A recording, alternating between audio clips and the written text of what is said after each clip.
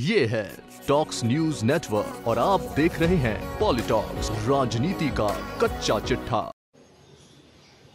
कल मैंने आईसीएमआर से अप्रूव्ड और देश की प्रतिष्ठित लैब जयपुर के अंदर बी लाल जो लैब है, उसके अंदर कोरोना का सैंपल दिया और आज उसकी रिपोर्ट भी नेगेटिव आई है। ये लगातार मेरी पांचवी रिपोर्ट नेगेटिव है।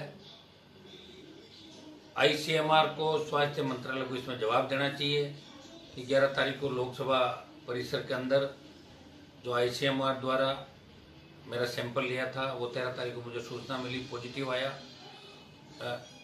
अब उन आईसीएमआर को अपनी स्थिति स्पष्ट करनी चाहिए कि आखिर इसके अंदर सत्य क्या है? कल मैंने ब्लड की तमाम जाँच कराई और सारे सा, सारी जांचें सामान्य आई है। अब लोकसभा का सत्र चल रहा है मुझे होम क्वारंटाइन कर दिया। जो कह दिया चौदह दिन के चौबीस तारीख तक होम क्वारंटाइन हो। महत्वपूर्ण मामले हैं, जिसके अंदर लोकसभा के अंदर हमारी प्रेजेंस आवश्यक है। मैं पुनः स्वास्थ्य मंत्रालय और आईसीएमआर को पूछना चाहता हूँ कि इसके अंदर अपनी स्थिति वो स्पष्ट करें। मेरी पांचवी रिपोर्ट लगातार, जो बी लाल लैब की कल की रिपोर्ट है, वो नेगेटिव आई है।